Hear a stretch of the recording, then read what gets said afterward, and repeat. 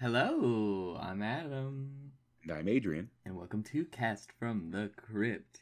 Today, today we talk about X. I have had so many people tell me, I can't believe you haven't seen this movie. I can't believe you haven't seen this movie.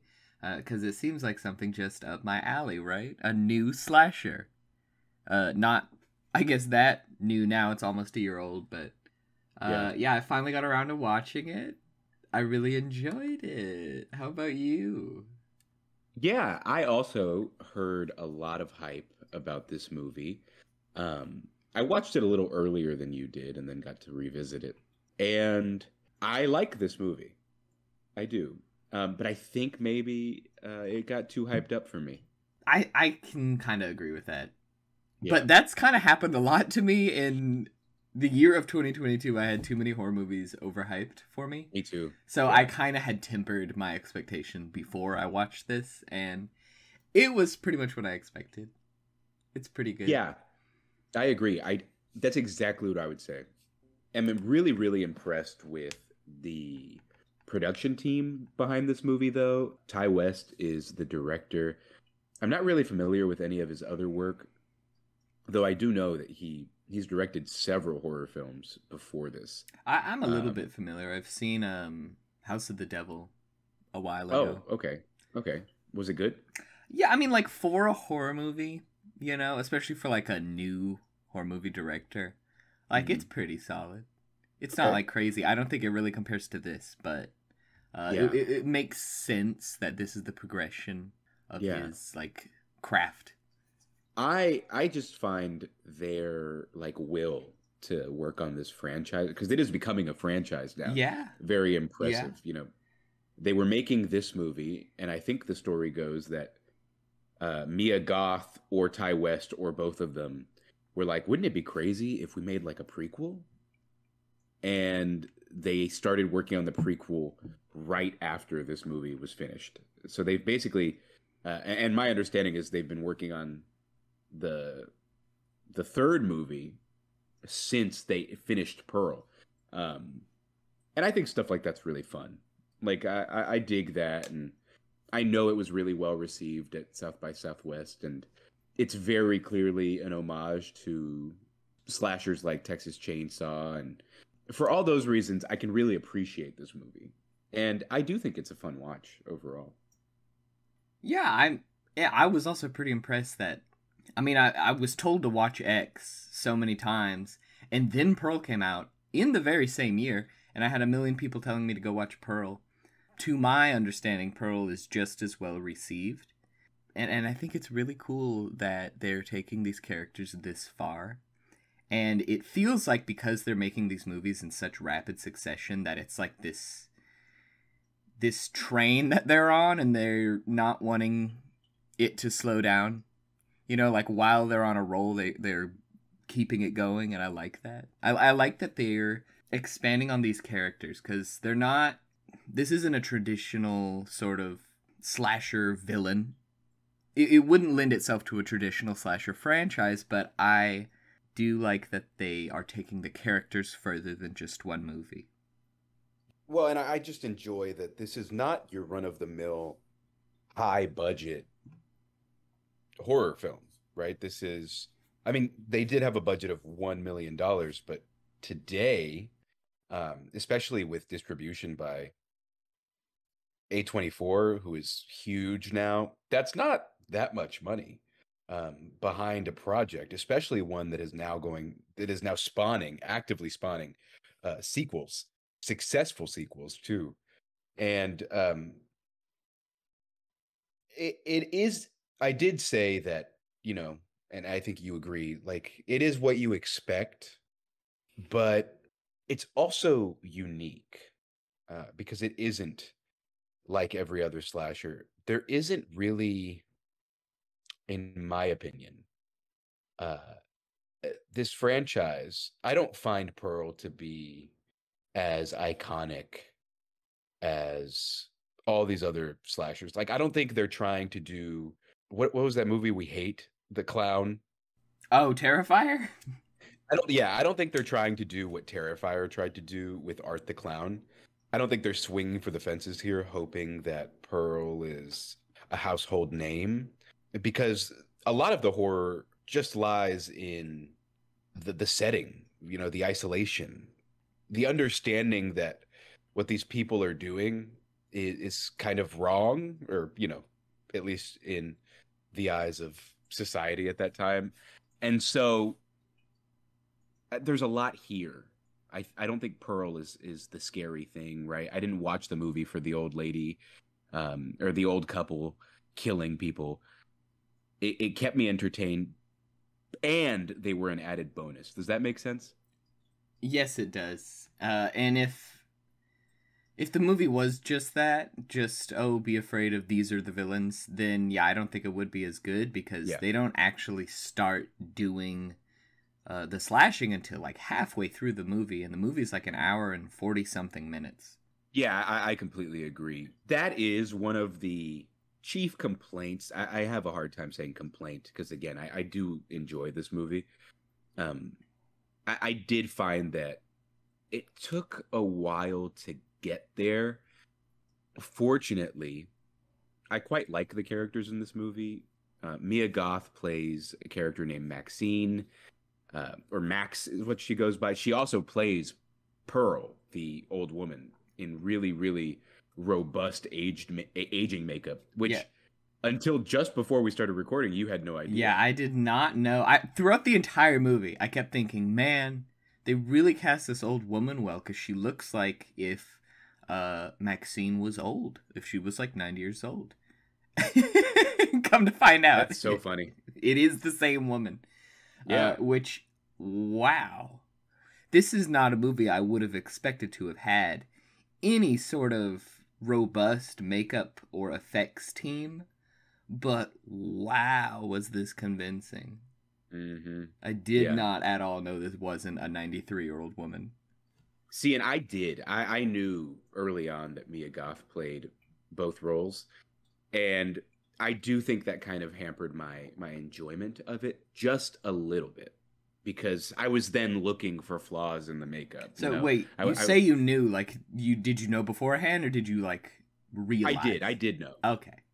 No, no, I did not realize while watching. I had I had been told beforehand that she played both, and so I was looking for flaws in the makeup. Right? Maybe had I not known, that wouldn't have happened because it is it is quite good. I agree, um, but I find Mia Goth's performance as both of these characters to be, uh, you know, her performance as as Maxine is serviceable. Like she's good, um, but her performance as Pearl is really, really quite good because it's it is effective and you know you're a testament to that. You you had no idea, which I think is awesome. Um, for me, the standouts for me were Kid Cudi and I, I'm being dead serious. Kid Cudi and Brittany Snow. I really liked them in this movie. Um, Brittany Snow plays a porn star named Bar- Bobby Lynn Parker, and Kid Cudi plays a porn star named Jackson Hole. And um, I thought they were good. Jenna Ortega was also really good. Um, I think her character's name is Lorraine. Um, there, there's some really good like ensemble stuff happening in this movie, and that's why I think um, I was actually pretty entertained, despite there not being a whole lot of action until the last quarter of the film. Yeah, the acting all around in this movie is pretty impressive. It's kind of like, you know, for a movie of this type, it's kind of got some big casting choices, if you know what I mean. But they all did really good. I like these characters too. I like this group. It felt like there wasn't uh, too many people. Because, you know, in a slasher, the group of young people show up and then they get picked off. And a lot of times they're just there to be fodder. But every Yeah. character here feels like they have a purpose and has a good bit of dialogue. You get insight into their character, and they feel a little more realistic than just like, uh, you know, the pretty girl who gets killed first, and then the innocent one that is the final girl, and yada yada yada. It's a little bit better than most typical slasher movies, and it's kind of subversive too. Like like I just said, the cl- the classic setup is there's like one couple, the guy's a jerk, the girl's hot, and she's just kind of pretty girl, and they have sex at one point and then get killed.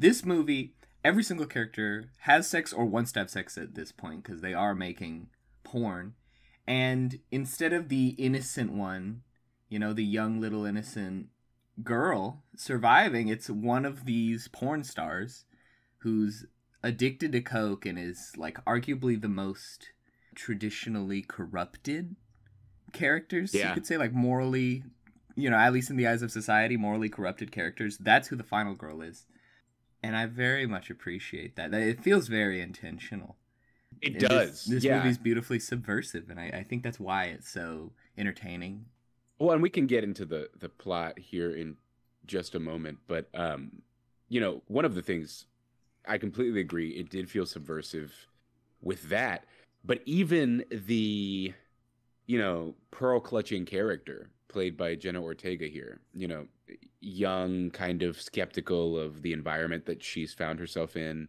She has nothing to do with the project other than her boyfriend being the cinematographer, um, the cameraman.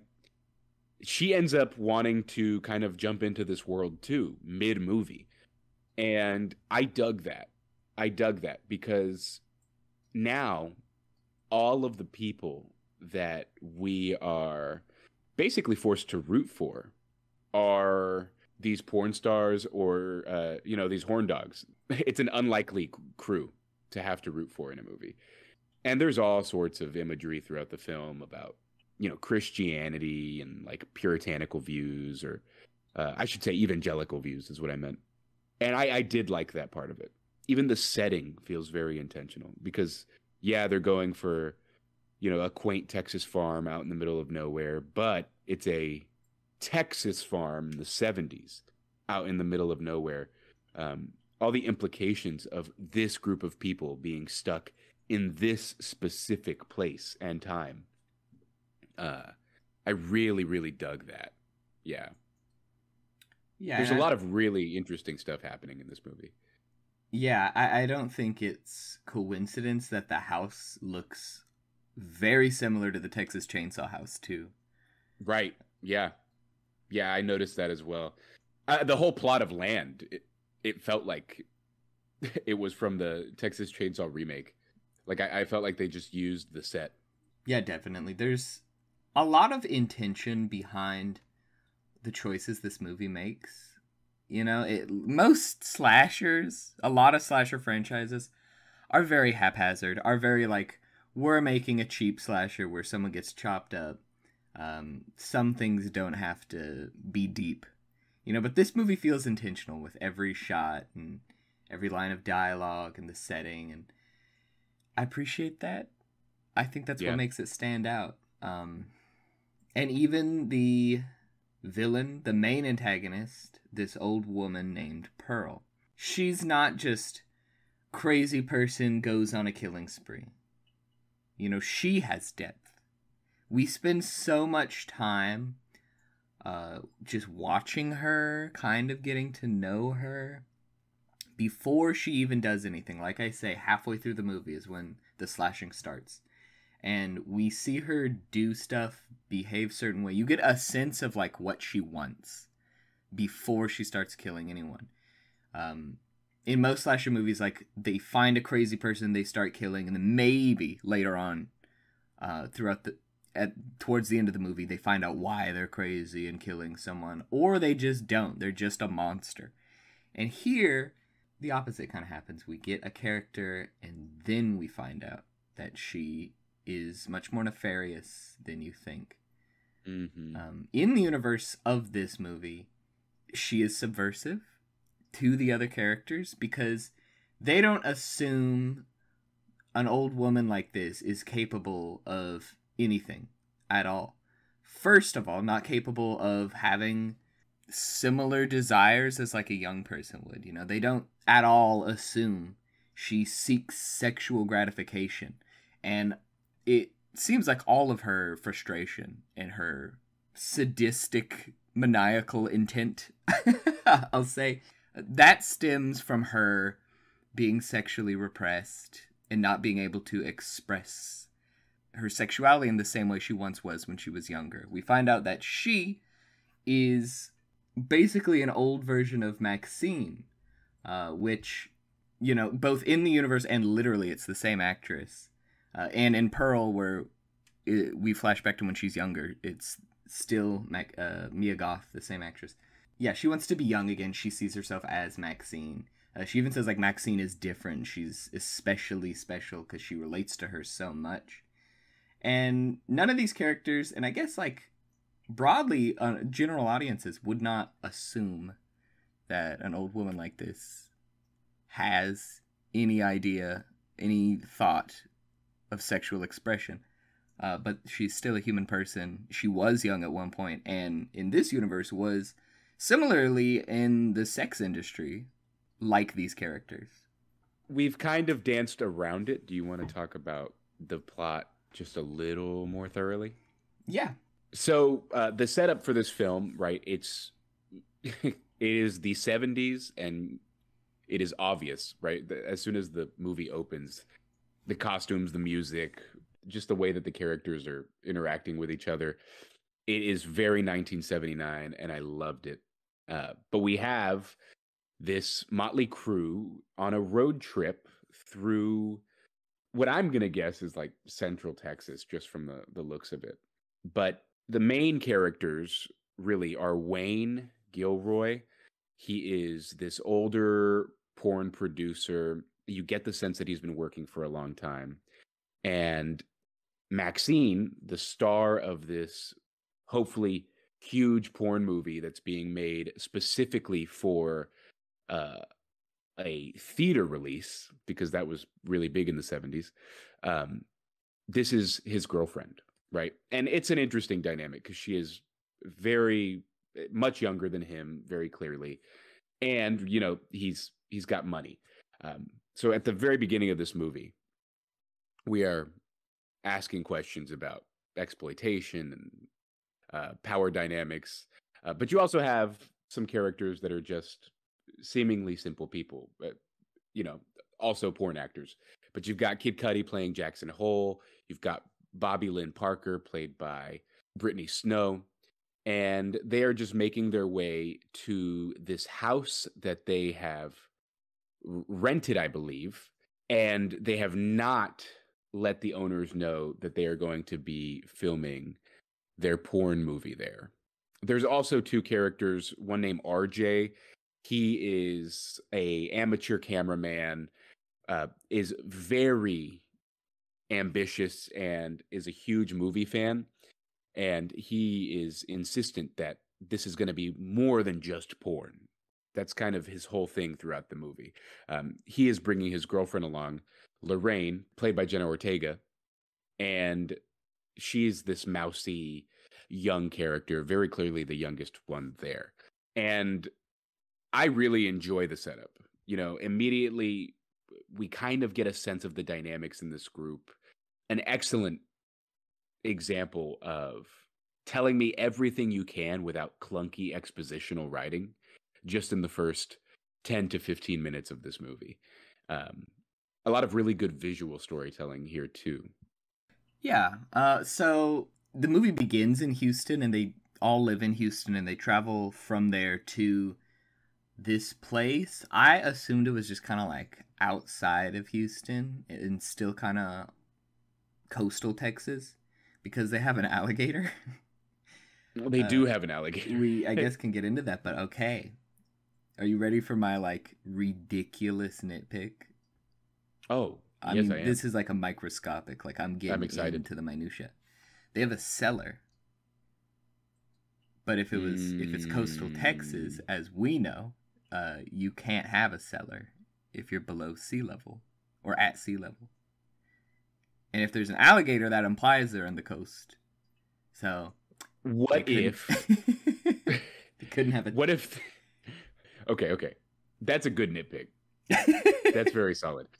What if they are more central or north central, and we find out, like in Pearl, which neither of us have seen, right?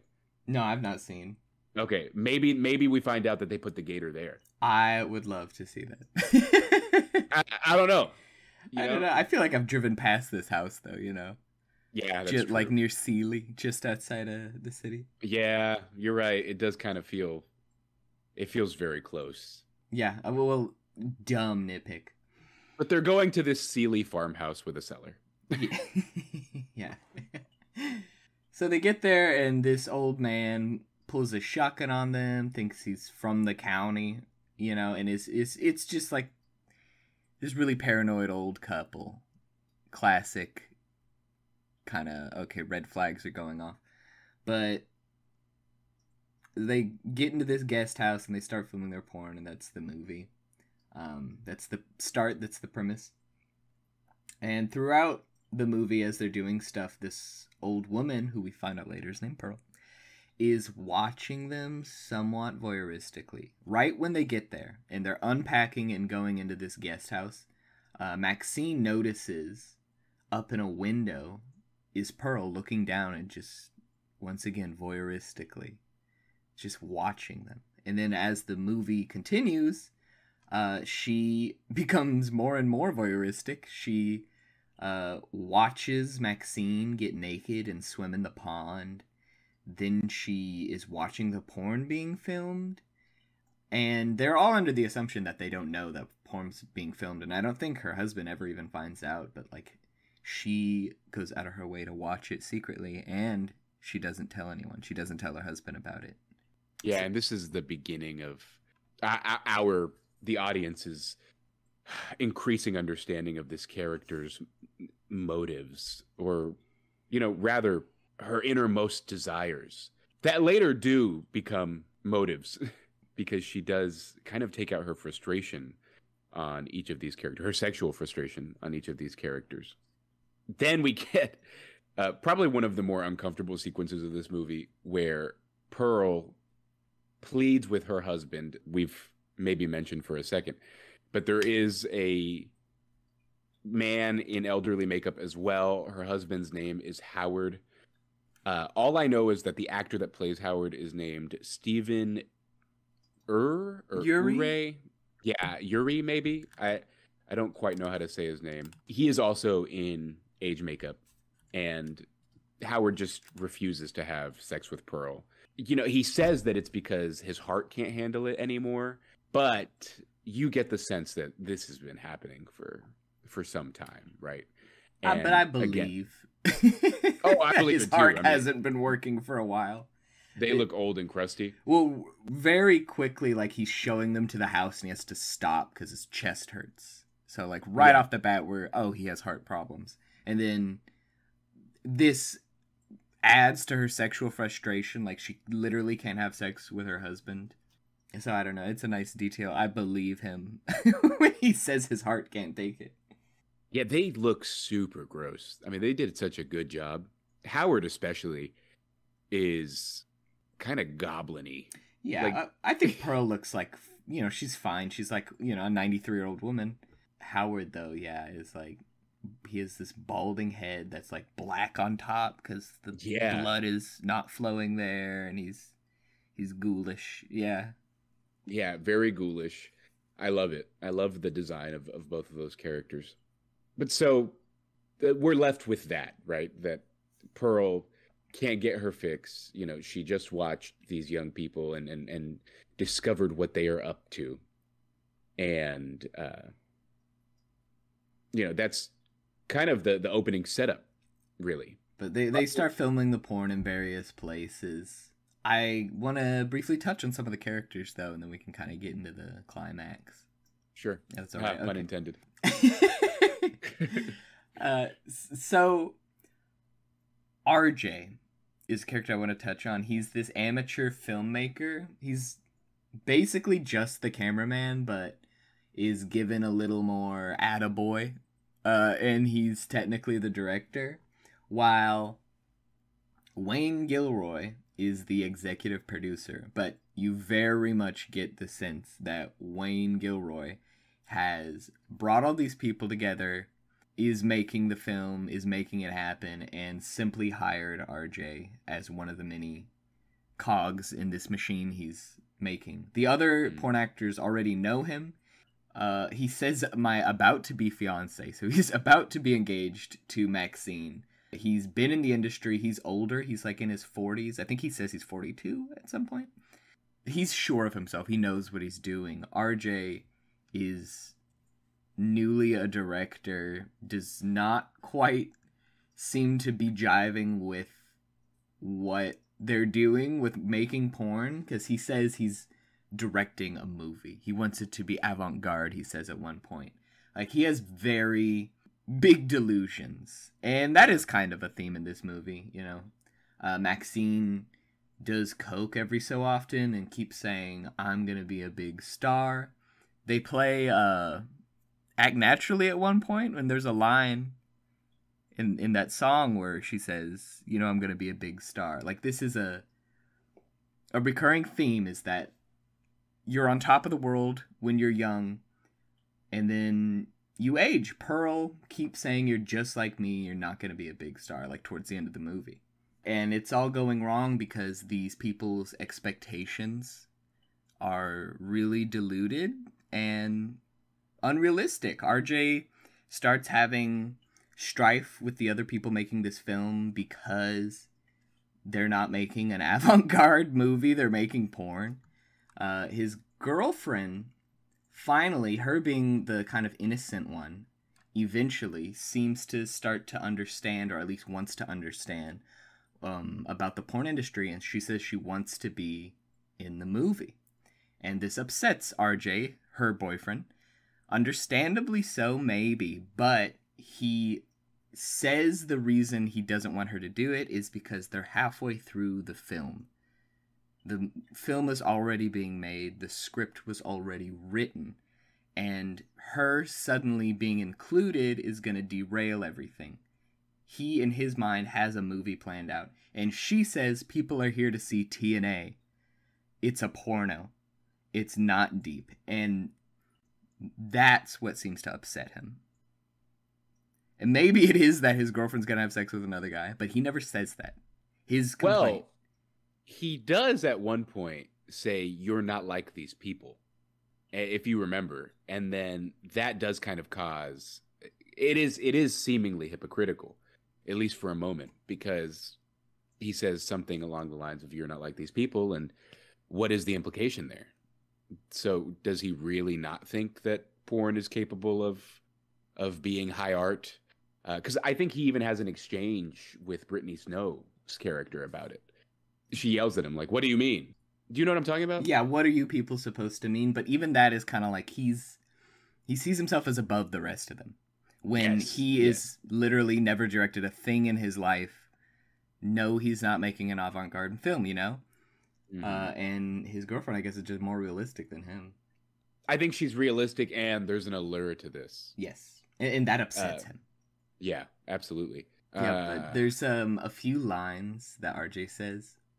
Oh, There's one line, um, Lorraine, his girlfriend, keeps saying, Why do you want to be in this movie? Why do you want to do this? Why are we doing this? And he says, Because it is possible to make a good, dirty movie. Um, for to me, this kind of felt a little fourth wall breaking in a way. Like maybe this is the movie's way of saying you can make a good, dirty movie.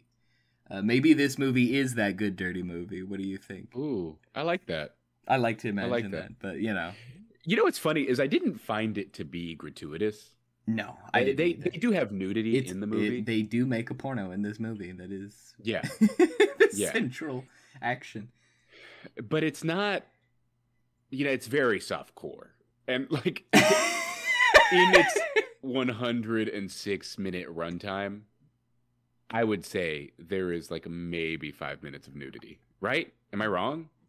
I think you're wrong. Yeah, I think there's a lot of nudity. That, maybe not like full blown sex, but a lot of nudity, or at least like a lot of uh, revealing. Like even if they're not nude, Well, I mean, like literally walks around. sex. Full blown Like, I think- sex, yeah, no, but they're nude at every possible chance. Fair enough. And, it, and that is kind of like the arrogance of youth, I guess. I don't know. It's their Pearl sees it as them like flaunting their youth, Mhm. And you know they're they're in porn. They are kind of a little, I guess, vain, especially like Jackson, Kid Cudi's character. At one point, he says like, "I was born to do this job." Like he knows he talks to the old man completely naked, like no shame. None of them have any shame, and they kind of know like they're young, they're attractive.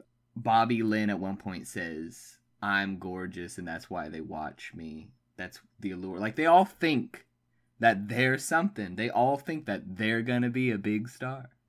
That's the refrain throughout these throughout this movie and throughout these characters. And I guess Pearl is kind of that one character that uh lived the life of that delusion and it was never fulfilled.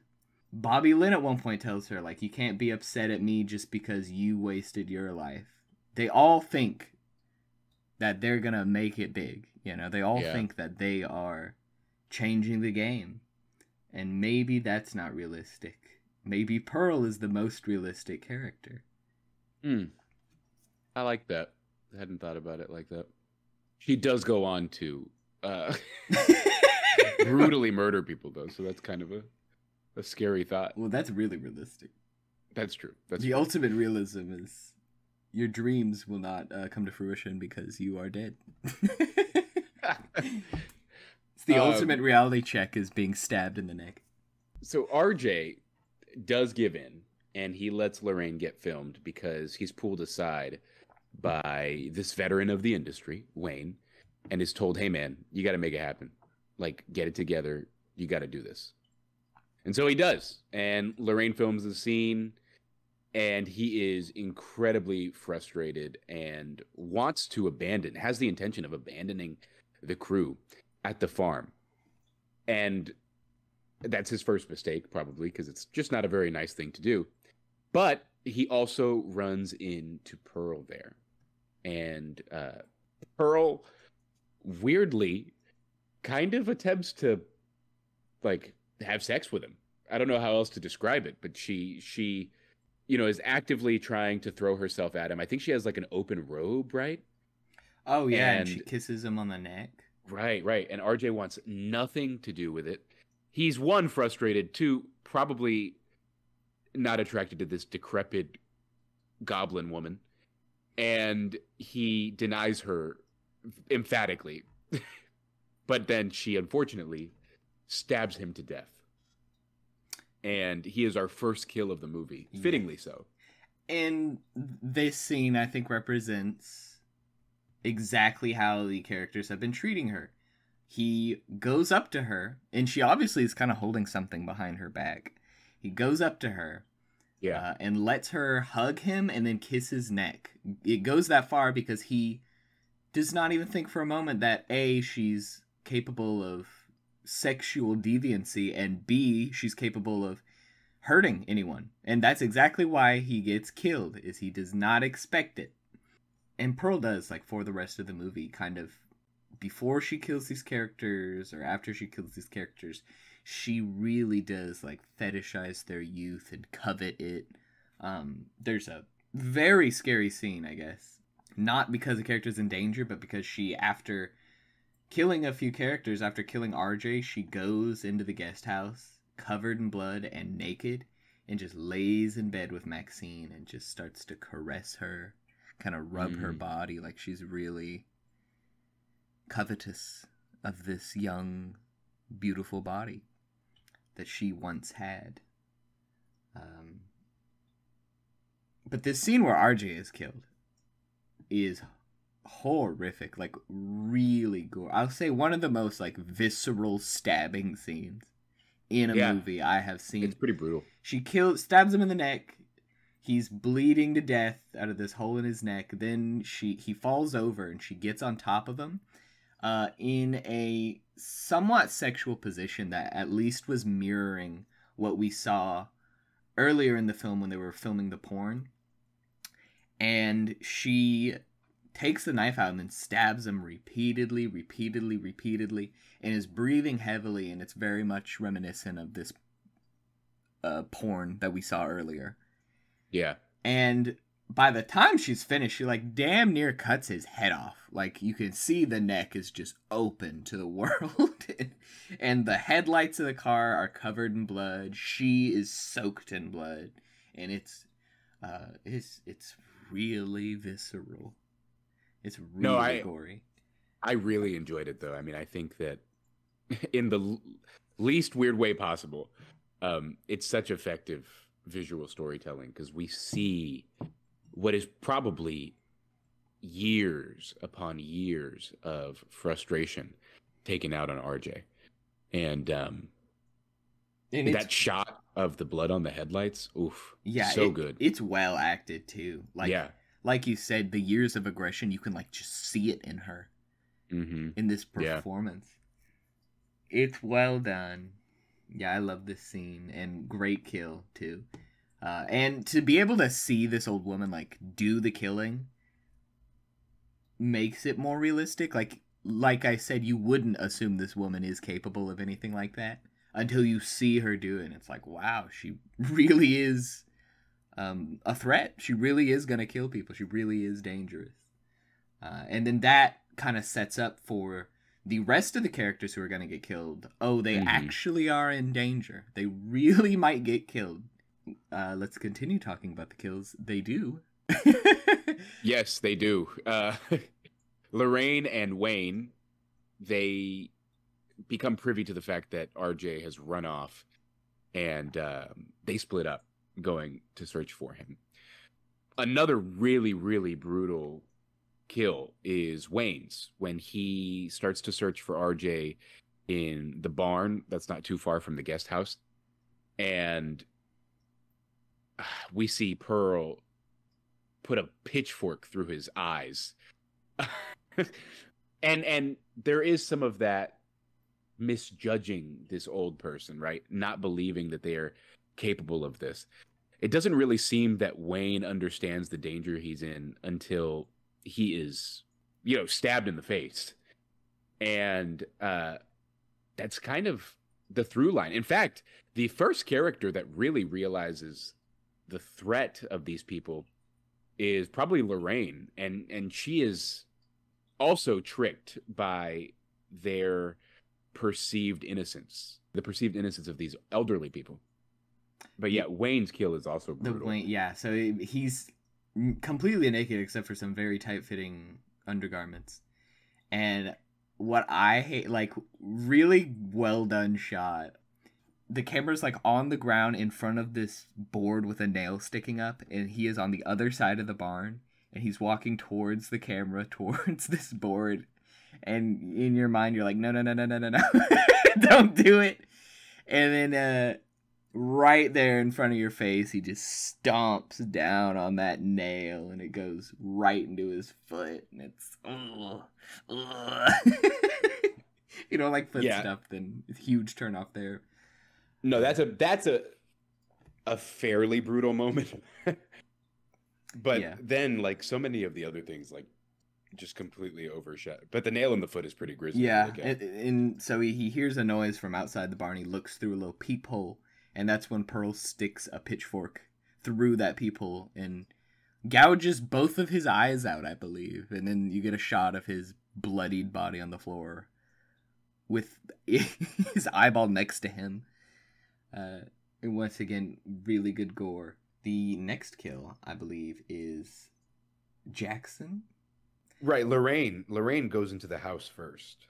Lorraine runs into Howard while she's searching for RJ, and I think she's told like Pearl is gone, and he's really worried about her, and he asks Lorraine to go and get a flashlight from their cellar, which now I can't stop thinking about the fact that they have a cellar.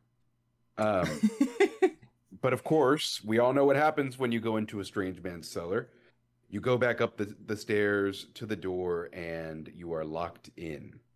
And she is able to find a light. This is maybe one of my favorite moments of the movie. Uh, when she finds that light, she also finds kind of like tied to, you know, one of the pillars holding up, uh, I suppose, the ceiling. There is a man really sloppily held to that structure. And I think the implication, because eh, basically everything else on his body is bound to the pole or the pillar, other than his genitalia. And so I thought the implication was that Pearl was like using him.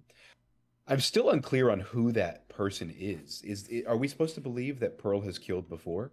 Yeah. So there's a. The, I like this guy because they don't go into they don't they don't give him much time, but they do some really good visual storytelling to kind of just tell you what has happened. So she, yeah, she goes down there and then attached to a wall it, with like dungeon shackles is this naked guy um, who is blue is a corpse has been there for a while later there's a few lines of dialogue between howard and pearl that imply that they howard has set him up down there to fulfill the needs she has that he no longer can because of his heart problem and just after this scene is we cut back to the house, and I guess you didn't notice this, but Jackson goes to the fridge and opens it and drinks from a milk carton. And on the side of that milk carton is a missing person with the picture of that body we just saw in the cellar. Oh, I had no idea. Yeah, so uh, now you are to believe, like, oh, yeah, they did kidnap this guy a long time ah. ago. He's missing, and they do this every so often. Yeah, there's also the car that's like submerged in the pond. Yes, later, yeah, Jackson finds a car dumped in the pond. Um, and I figured that was the guy's car. Yeah, probably right? that but guy's car. Actually, or maybe someone else's. maybe another victim, you know? Yeah, yeah. Uh, it's uh, very possible. Howard at one point says we can dump the body in the pond with the others. Others, plural. Uh, so this is a mm. recurring thing they do. Yeah, just after Jackson finds that car, that's when he is shot by Howard. Howard kind of tracks him down and they have an exchange between them. Uh, this is one of the parts that I didn't, for me, it didn't add much. It did feel kind of forced and expositiony. But, you know, Howard and, and Jackson have that that interaction where they talk about being veterans do yes, you remember? Howard of World War One and Two, and Jackson of the Vietnam War. Right, and uh, it is almost tragic in a sense because we know what's going to happen to Jackson, right? Uh, though he is physically superior and and um, he could overpower Howard fairly easily. He's out here in strange territory and doesn't know that uh, Howard has the intention of, of killing him because Jackson, up until this point, doesn't know that anybody is is dead. He doesn't understand the threat of these elderly folks, and you know it's also just kind of a lame kill. In my, he's just shot. Right, there isn't really anything there, uh, and and for me, it took away from the power of Pearl, right, and what we're watching for, which is like her kind of unleashing this this frustration. I guess it does show us that Howard is complicit in Pearl's behavior. Uh, and and it does give us some depth to that to that relationship because he he's clearly trying to help her get her jollies since he can't do it. But I don't know. Um, I, I think it also shows that while Pearl is jealous of these young women and these young people and their youth, Howard has become jealous of this young man or these young men because they're kind of flaunting their sexuality. He thinks they're seducing his wife. That's what he says just before he shoots Jackson. Right. Um, well, and the irony of that, like, you know, to care about that, but then to also go and find her corpses to have yeah, feed with. it right into it, but also be upset about it. Yeah. Right. Um, I mean, maybe this is what RJ and Lorraine could have become in their old age. Is him hating what she does, but still being complicit in it, you know? For me, the veteran dialogue really just more so felt like, hey, this is the the time period. Yeah. It, it didn't add much to me. Yeah, I, I think it was know that they were both. Yeah, I think it was just like fleshing the characters out, but not really in a way that helps the story. Right, right. So I understand that complaint. Um, while that's happening, Jackson is dying. Pearl that's when she starts to caress Maxine's body as Maxine is asleep. You described that scene earlier. And though she doesn't kill her, Pearl doesn't kill Maxine, I agree with you. It's a scary scene. It's very uncomfortable and very sinister. And Maxine's reaction, of course, it only underlines that. She wakes up, sees Pearl, and just screams in horror because, well, who would anticipate that happening to you? well, just how unsettlingly old she looks. Well, and covered in blood. and and covered in blood. Yeah. Um it's it's gross, it's scary and and very uncomfortable. Um as Pearl leaves the guest house, Bobby Lynn sees um, the aftermath of this interaction. Uh, she she sees Pearl fleeing. Yeah, and I love this kill. F- funnest kill. Maybe not. My favorite one was RJ's, but this one is uh, that classic. Like, you got to have an interesting one in your slasher for it to Yeah. really stand out, and this is that one. Uh, Pearl basically ends up pushing her into the pond, and that humongous alligator swims up and chomps her right in the head. Bites her in the head, and then huge, bloody, twisting mess uh, in the water, and fantastic. And there's interesting dialogue here too. I mean, Pearl is very angry at Bobby Lynn and calls her a whore. And um, even though she's you know actively jealous of, of these young women throughout the film. and as she said in her um, youth, she used to be a dancer. You know, Right. and I assume this is like a burlesque dancer, a cabaret, like a, a promiscuous sort of dancing. At least, Yeah, I need to I need to watch the sequel because I, I am very curious now. Yeah, me too. Maybe that's uh, something we'll talk about soon. Yeah. Yeah, I'd love to. But you know, there there's that she's pushing this woman that she is so obviously jealous of uh into this lake and, and watching her die with pleasure. And I don't know, there's all sorts of things that you can take away from that. Is she is she killing herself? Is she is she pleased by watching, you know, the this woman that she would probably really love to be die? Is it more so that she has more of a fascination with Mia Goth's character? I don't know. There, there's a lot of things that you can take from this kill, and and the dialogue between them, and I'm into it. Just after this, now we're only down to Maxine and Lorraine, who don't forget is still locked into the house. There is, or excuse me, in the house. There is a really brutal, brutal shot of uh, Lorraine. She tries to use this hatchet that she finds in the basement to get through the door. And Howard, of course, is now back in the house and he sees her trying to do this and just like destroys her hand, forcing Lorraine back inside. And now she's, of course, lost the hatchet. What I don't remember, because I watched it early in the week, what did he break her hand with? I wasn't quite sure what it was, but I think it was either another hatchet or like a kitchen knife. Yeah, I mean, but it's so gross. We get this shot of Lorraine bleeding profusely from her hand and screaming her lungs out. Uh, and I just, I just loved it. I thought it was so visceral and so effective. She is, she is screwed. We definitely think she's going to die at this point. uh, it feels very hopeless the situation that these folks are in. And yet, for me, there was never any doubt that Maxine was going to make it out, even before I knew that there was a third movie planned with her in the leading role. Yeah, she's the final girl. She Yeah. w- at least was the main character. The movie kind of focused on her more than the others. But this movie's so subversive. It's one of those that, like, maybe they would kill the main character. But Exactly. for me, I never had a doubt. I, I pretty much was gathering where this was going to go. So, Maxine is making her way around the compound, we'll call it the farm, and she sees that Pearl and Howard are now going back together to the guest house, which is where they were staying, Maxine and company. And she hides under a bed, hoping that, well, I don't know, I guess hoping that they'll go away and maybe she can make her escape.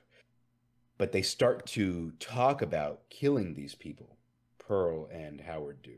And another really disturbing scene in the movie I'll let you describe it if you'd like. Okay. Uh, well, we don't know Maxine's hiding under the bed. We just see Howard and Pearl talking, and then Pearl finally convinces him, uh, "Screw it, let's have sex." and so they start having sex. Uh, the camera pans down to under the bed, and there's Maxine, uh, horrified. And she manages to crawl out of the room while they're distracted and run back to the main house, where she frees Lorraine from the basement. Uh, Lorraine panics and is screaming and tries to run out the door. And right as she leaves the threshold of the doorway, boom! Her face is blown off with a shotgun instantaneously. Maxine knows to hide. She doesn't scream a lot of times when others might have. And so she's kind of the one in the survival mindset, I guess. She's the smartest one in the slasher setting. And she hides behind a wall. She pulls out this gun that was supposedly in the. Uh, this gun that was in their vehicle the whole time that Wayne owned. It was supposedly to just like wave around and scare people if he needed to use it. And it's this is another subversive thing about this movie is this gun is introduced in the first act. It's very traditionally literally Chekhov's gun. So here we are yeah. in the final act. The gun's about to be used and she goes to fire it and the bullets are empty. It's there for show. It was never actually loaded. so now she's in a tough situation. I completely neglected. As they're dragging Lorraine's body back into the house, she like gurgles and that makes Howard jump, and that is enough. Chekhov's real gun was actually Chekhov's heart murmur, and Howard is spooked by uh, this body moving, and he has a heart attack and dies right there. Did you also laugh out loud at that part? maybe not out loud, but I did. I was like, "Oh, fine, there it is." it was bound to oh, happen. So funny. Yeah, yeah. I, I thought maybe he was gonna die while they were having sex because there is like a, I'm talking two minutes of like old person missionary being filmed. I didn't know if they were going to do it then, but yeah, he Lorraine's dying body is enough, and it made it made me laugh. I did also, just to go uh, back to what you were talking about earlier, the pistol reveal was so brutal. You know, like her having that, getting it out of the van, it, and then just knowing that it was all a facade. Watching that like crumble, I thought that was such an, a, a great scene. I really, I really like Mia Goth in this role, or I guess in these roles. And yeah, so she is suddenly not got the upper hand. Pearl grabs Howard's shotgun and tries to blast her. And this was kind of funny, I guess. This was kind of funny, I guess. Yeah, yeah. she misses and is like thrown out the door because she's a 90 pound woman holding a blunderbuss and the knockback throws her out of the door and i think she finally does break a hip and can't get back up. And now she is incapacitated. In her own zeal to kill maxine she's crippled herself. So then maxine goes to get the keys to their truck howard and pearl's truck. She gets in and is about to drive away, but uh, a still alive Pearl is yelling profanities at her, telling her she'll never be a star. Um, so instead of driving away, she puts that she puts that truck in reverse, and uh, just crushes her head, crushes Pearl's head in a it's awesome, very visceral like watermelon exploding head crush, and then she drives off and I like that. Um, I do too. Then the ending harkens back. the The movie actually begins with the uh, cops investigating the aftermath of what happened, and then we get the flashback to the events of this movie. So at the end of the movie, we are back to the cops, back to the sheriff looking around, and this is a nice bit of, I guess, another subtle bit of subversion. So many horror movies do this where, like, the cops are looking at the carnage, figuring out what happened, and then some great, maybe profound final words are said by the cops at the end of the movie. Here, uh, one of the investigating cops looks at the sheriff and says, What do you think happened, sheriff? And the sheriff looks at him and he goes, How the hell am I supposed to know? they have no idea what went on. They don't have a clue. They just know there's bodies everywhere. Um, they find the camera, and uh, the same guy says, What do you think's on it, sheriff? He says, Probably the most disturbing horror movie ever made. They'll be surprised. There's also the reveal that Maxine is uh, from a conservative Christian household. Specifically, the, the, there's a few instances where we hear this preacher, uh, this like televangelist sort of character on the TV. Uh, I believe it's playing at the gas station they go to in the beginning of the movie, but it's also playing on Pearl and Howard's TV towards the end. Yeah, she parrots stuff he says. She, she says, um, what is the line? I am gonna live the life I deserve, I think is what she keeps saying. And this is something the televangelist keeps saying. And you're not quite sure why at first, but it's this thing she says to herself in the mirror. This is something that like is a refrain in her life and you're not quite sure why until the end of the movie we see the televangelist on screen and he says and he's ranting on about sin or whatever and he says let me show you my the cross I have to bear and he reveals a picture of his daughter Maxine. It's a picture of Maxine and he says she's been taken by the devil into the hands of devils and is corrupted into sin and now you kind of understand why she's been saying Ah, that, that is and why she has this kind of warped sense of self Which, what a wild thing to do, Yeah. by the way. I the- I mean it's a televangelist he's That's gonna be doing some wild things I mean, but even Joel Osteen, I don't think would. Okay, well, Joel Osteen's like rich. This is like a, you're you know it's one of them Fire churches. brimstone. Yeah, it's one of them churches that's like in a mobile unit, and they're like rubbing snakes and shit. You know, like one of those kind of televangelists.